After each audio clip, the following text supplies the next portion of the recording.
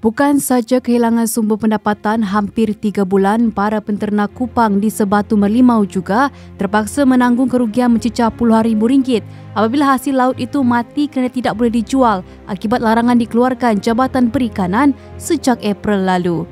Malah penternak mendakwa kupang dan kerang yang diternak mereka turut dicuri pihak tidak bertanggungjawab dan dijual di luar negeri ini.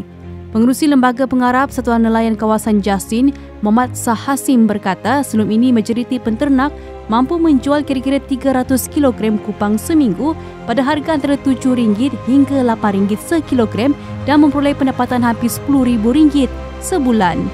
Ujarnya meskipun sampel air di perairan Melaka telah beberapa kali diambil pihak berwajib namun mereka belum mendapat sebarang kepastian sama ada ia mengandungi biotoksin dan alga berbahaya seperti didakwa.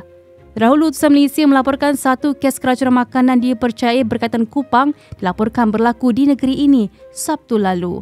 Pengerusi Jawatan Kuasa Kesihatan, Sumber Manusia dan Perpaduan Negeri, Eng Hee Sim berkata yang melibatkan seorang pesakit lelaki berusia 34 tahun yang dimasukkan ke Hospital Alor Gajah untuk rawatan. Jelasnya, Jabatan Kesihatan Negeri JKN masih menunggu pengesahan daripada Jabatan Perikanan sama ada kes berkenaan berpunca daripada pengambilan Dewi Cengkerang itu. Dalam pada itu, penternak kupang Johari Ismail berkata kerajaan sepatutnya memberikan bantuan kewangan atau pampasan bulanan memandangkan isu itu berlarutan sejak sebelum sambutan Hari Raya Aidilfitri. Ujarnya mereka kini hanya mampu meraih pendapatan antara RM800 hingga RM1,000 saja sebulan dengan melakukan kerja-kerja sambilan.